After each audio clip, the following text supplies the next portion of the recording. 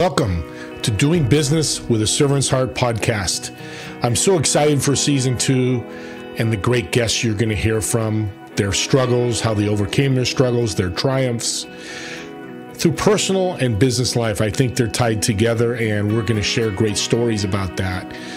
This show isn't just about me, it takes a lot of good people working with me. Among them is my partner, H7 Network, and Clay Hicks. Building relationships, building community is the mission of H7 Network. They want to create a network of champions where everybody wins. Find out more at h7network.com. And we hope to motivate you, inspire you, and educate you through our show. Enjoy the show. We'll talk to you on the other side.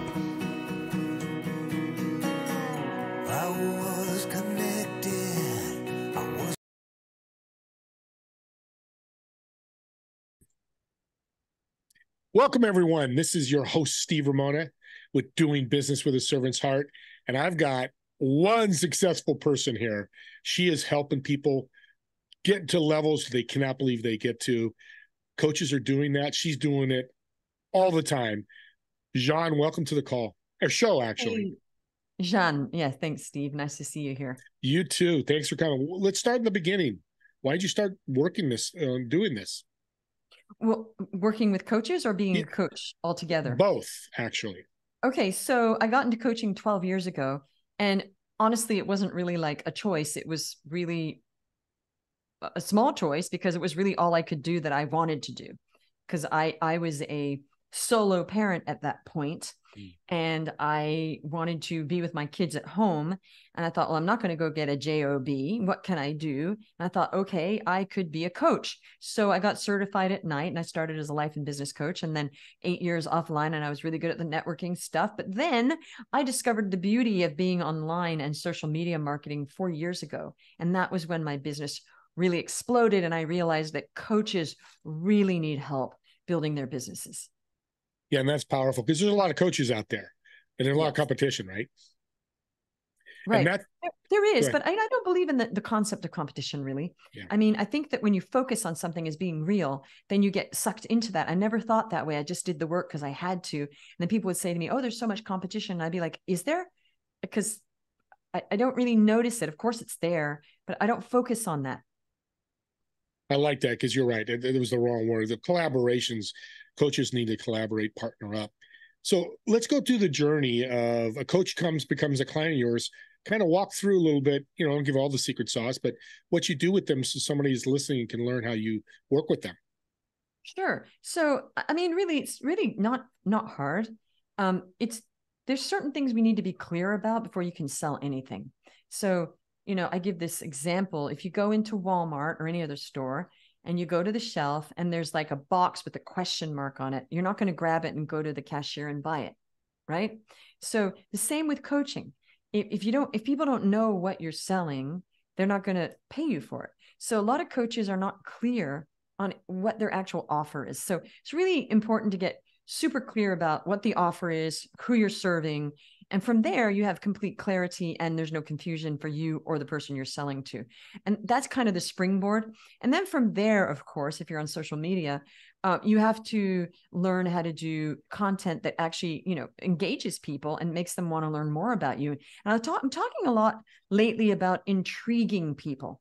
I think the key now, what I've come to, is it's not enough to provide value. It's not enough to engage. It's not enough to do all that stuff. I really think we're in a, a situation now online and in the world. I think people really want to feel intrigued.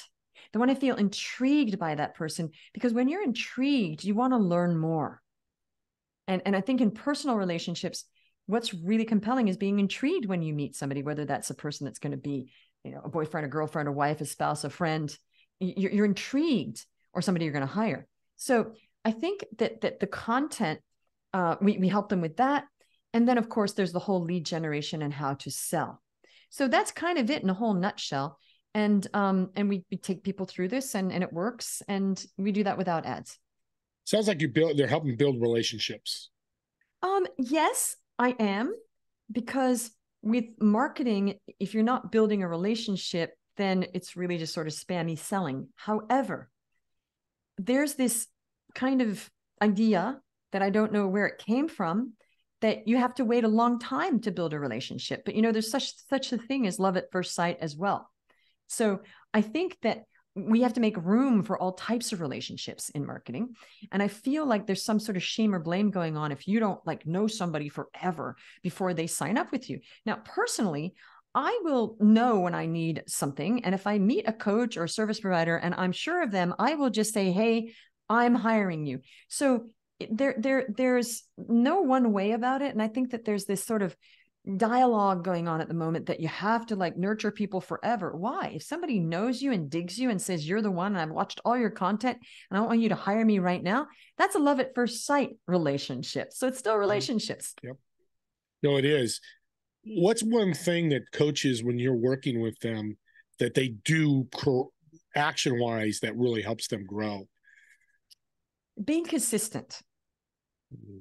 so so uh, really any marketing any marketing whether it's offline online no matter what it is no matter what type whether it's ads whether it's networking being consistent and persistent. Those are the two things that no matter what if you keep doing that consistency and persistence, you will get there. You just have to pick a lane and you have to know what your avenue is.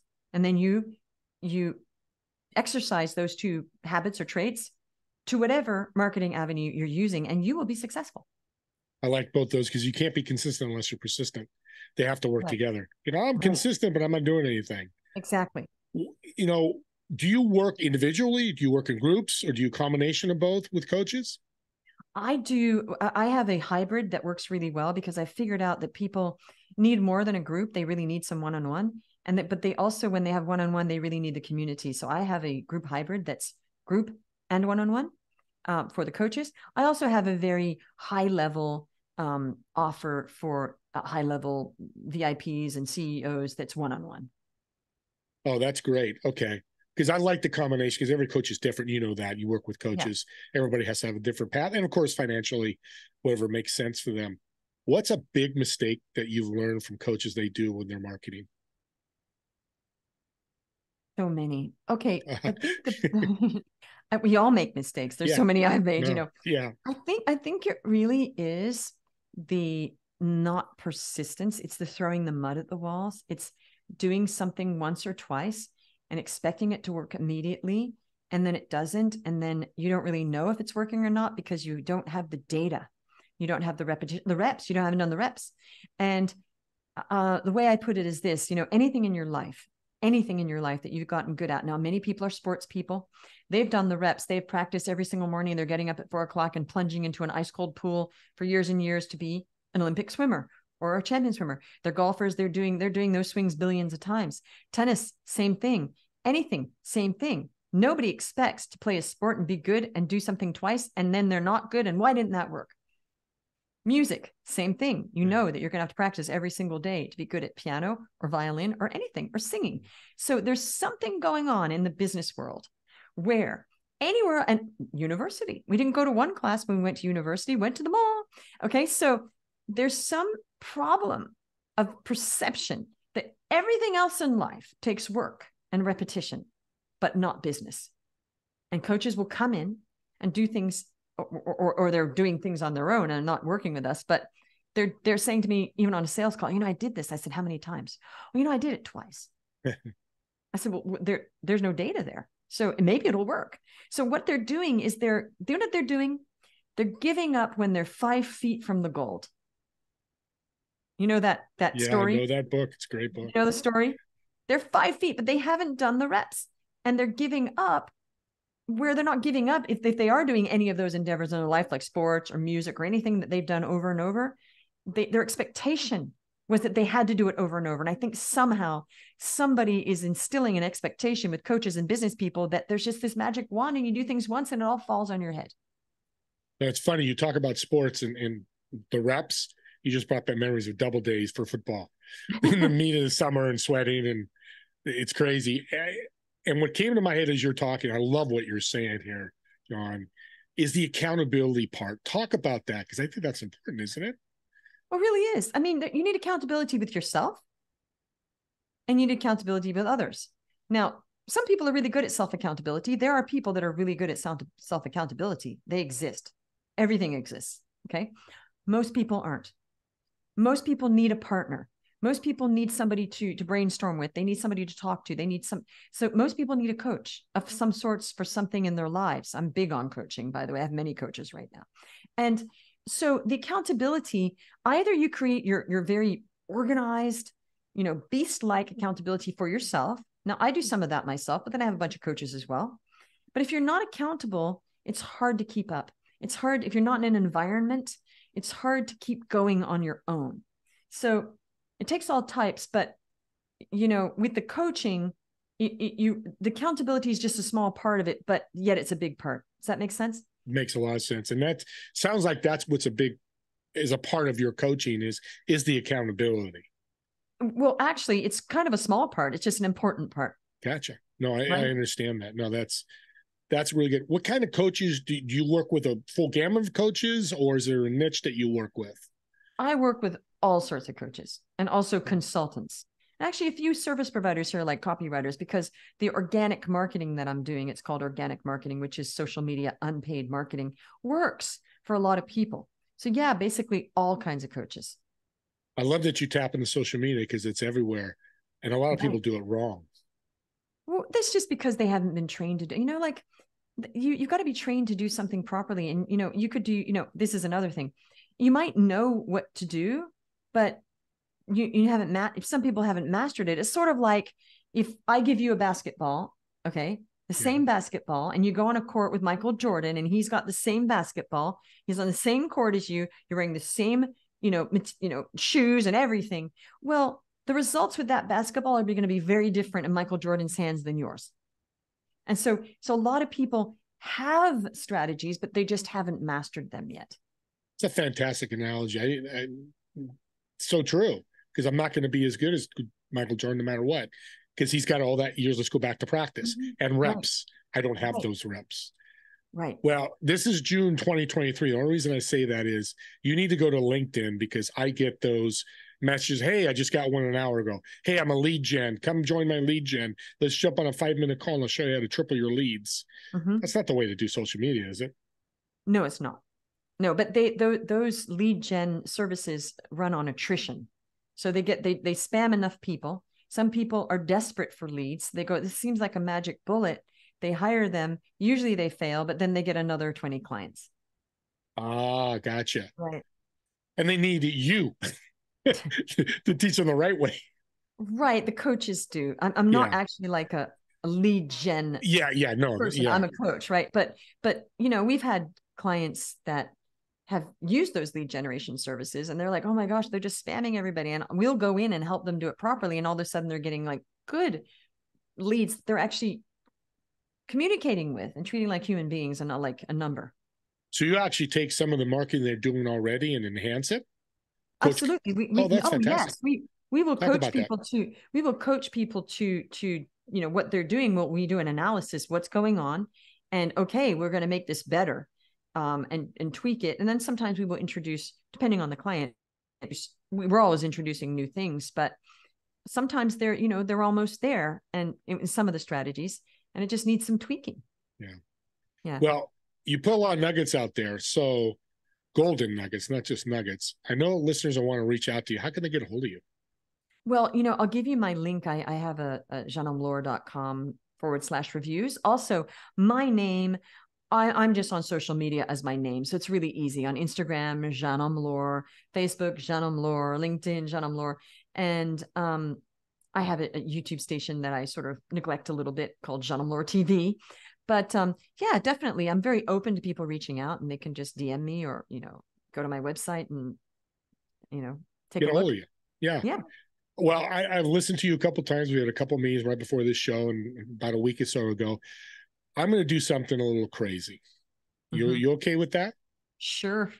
So the first five listeners that reach out to Jeanne and mention the podcast in my name, or either or, it doesn't matter. Mm-hmm. I'm going to send you a $25 Amazon gift card. Wow. Because what she does is level you up. I'm not going to say the numbers if she wants to say the numbers, but I've heard some crazy number, excuse me, not crazy, cool numbers that you can reach with her coaching and it's going to be a game changer for you. She's amazing. So I'm putting my money where my mouth is. And the first five people, I will send that. I did it for another show last week. I sent out two gift cards. So I will do that wow. because I believe in what you do. And, and I'm pretty fired up. That's amazing, but it has to be coaches, okay? Yeah, has to be yeah. coaches. So right. after you coaches reach out to who she wants to talk to. Oh, okay. Um, I love that. That's fun. That works? Okay, great. That's a bonus so, for me. yes, amen. So um tell me tell us a story. You've got I know tons of stories, but tell us a story of a coach you helped and the end result. Well, um I had a recent client who's been coaching for 16 years. Now, a lot of the coaches that come in, they are new coaches. We will start people from scratch. However, I do get seasoned coaches, and the seasoned coaches usually are stuck. They they've gotten into bad habits. They they they don't know what they're doing, and they're behind the times. So she came in, very nice lady, and she um we got we got her. You know, she was re- relying on referrals only. Now referrals are great, but when you rely on referrals, you're actually giving up your power to other people, hoping they're going to send you people. So you're giving your good away, right? You're relying on other people for your good, I call it. Mm-hmm. So I told her that. She goes, I know that. And she said it was going great and it all dried up all at once. So she's complete panic. Great coach, but complete panic. So I said, okay, we're going to fix this. So she came in and we helped her and she got her highest cash month ever in 16 years in the very first month of working with us $43,000 cash. How'd she feel? She was just ecstatic. And she said to me, This is the best part. She said, I did that because on that sales call, I saw how much you believed in me. And I thought to myself, this woman has so much belief in me. How come I don't have that belief in myself? I'm going with this. And she said, all she had to do was catch up to my belief about her and she caught up and it happened. Of course, there's strategy, but a lot of that was mindset. And she said, I thought to myself, this woman clearly believes in me. So I'm going to go with that. And then I slowly got on board. And by the end of the month, she was like three weeks. She's like, she goes, I'm on board with you now. Now I believe in myself. So she was ecstatic and very grateful. Great story. Talk about mindset um, I, I, know that's part of your coaching because it's yes. every coaching. Let's talk about because I am big a mindset person. So let's talk about that. Huge. Now you need mindset and strategy together because mm-hmm. you know you, you need the mindset, but you still need the way. You know, you got to pray with your feet, we say, right? You you got to you got to still God helps those who help themselves, right? All those cliches. I love them all. Okay. it's yeah. not a cliche I don't love. I'm pretty corny, actually. all right. So the mindset really, you know, I'm really getting to the point. I do a ton of mindset, and I'm actually going to be launching an actual mindset lower lower program at some point, like for 3K or something. But I'm not there yet. But I love mindset so much.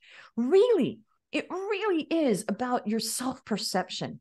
You know, like you know the psycho cybernetics book. It's my like favorite favorite personal development book, and all of it. And you know, Bob Proctor based his on that, and so did um, you know, um, what's the other one? Um, the rich one, you know. Tony Robbins? No, yeah. the other one before. Sorry, I'm totally zoning right now, but you know, um, oh gosh, I can't believe it. the one that Bob Proctor, you know, developed it on. But oh, it really yeah. is, it really is, um,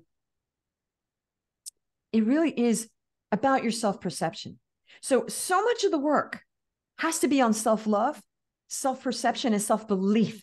Belief you can do this because I can coach people and we we actually help people sort of like get clients while they're beginning to believe. We don't wait and say, oh no, we got to work on your mindset before we know. We just get them going. And as they see it's working, the mindset catches up sometimes, yeah. kind of like with that lady. However, um, I'm really big on the creative visualization that we have our, our subconscious must be engaged to make real change in our lives. So I'm really big on those creative visualizations slash meditations where you are imagining how you want things to be as if they have already happened and having deep gratitude for them before they've happened because you imagine them so well that you're just grateful that you're there. Now, this is the most powerful mindset I've come across. I do tons of different mindset, but it really is about the self belief and projecting that picture by your creative picturing of it already happening, like as if it's happening. And how do you feel about that? And it gets you into another state Tony Robbins talks a lot about getting into another state. So, yes, it's very important. However, we have helped people whose mindset really wasn't where it could have been, but they started getting clients anyway because I just said, okay, that's fine. Let's just do the actions and taking the actions. And that's how I was. I had a terrible mindset when I came online. I thought, you know what? I'm just going to do the actions and just believe if I just do the actions and the reps. And then my mindset sort of started catching up. I love it. And habits are a big part of mindset too. Absolutely. I mean, mindset is just basically a layering of habits. Hmm. I'm glad you mentioned mindset because I knew you did. I want the listeners to hear that because it, it's such a, I mean, it's a game changer. And I love the fact, because I want to recap a little bit, that you get people making money with this managing their, you know, their marketing mm-hmm. but building their personally as well as they're going. So by the end of five, six, seven, eight months, their mindset's changed. It's 100% better and they've made money. Exactly. So it is really is. And, and this is the journey. And the thing is, thank you, because nobody kind of gets that. The thing is, it is a holistic program because I'm so into the mindset. Really, you know what my real goal is? Yes, we help coaches make money, but my real goal is to have people have peace of mind and happiness and joy Amen. and doing what you love. And that's my mission actually is to help a million people do this. The mission is to have people do what they love, but have joy from it because they're earning money. They're, they're working, they're not, you know, doing it, but full of anxiety. It's like, I really help people. Anxiety is a killer. I help people a lot with anxiety strategies as well. So it, the fear, getting rid of the fear and anxiety, because you want them to earn money.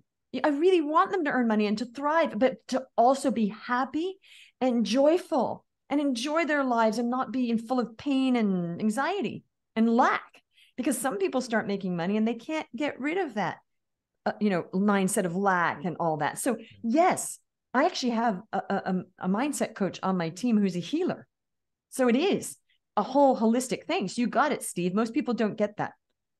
Well that segues into my last question because we're running out of time here and i could talk to you for an hour and a half um, unfortunately, we'll have you back because I, I can feel a lot more coming from this. What does a servant's heart mean to you in business? A servant's heart, really. I actually am a servant leader. I did I did a executive leadership in that. A servant's heart really is to want to help people get what they want, get what mm. they desire. And I'm just the, the conduit. I'm just that person that says, hey, what do you want? And literally i'll say on a sales call i won't even tell you about my program if i'm not 100% sure that i can help you get what you desire. And they're like oh that's novel. So it really is really is. You know it's like zig ziglar you know you, you want to you know help millions of people get what they want right? If you want to get what you want. And i believe that. I heard that later on in life. That was before my time. My brother used to listen to those in, in the, the set 80s and 80s but the point is it really is what do they want what do you desire? And really opening your heart to listening to what they want, even if I'm not the one. So even if I'm not the one, I want to listen and I'll say, you know what? We can help you, or I can't help you here, but I know somebody that can. And I'll send them to that person. Yeah, I'm going to end with this. You got me fired up. You know, if you're a coach listening to this show or know a coach that's doing well and wants to do better and level up, reach out to Jeanne because I'm going to give gift cards. I'm just so fired up to do it. I want to give out five gift cards this week. So it's June 23rd, June 27th, 2023. By July 4th, let's get out five uh, gift cards to people. And uh, not only that, I'm going to be able to help you grow through her. I love awesome. what you're saying. Thank you so much for being on the show. You are a blessing. Thank you. It was a pleasure. Can I ask one more favor? Absolutely. What's a great tip you can leave my audience that's helped you through your journey through all this? One phrase if not now, when?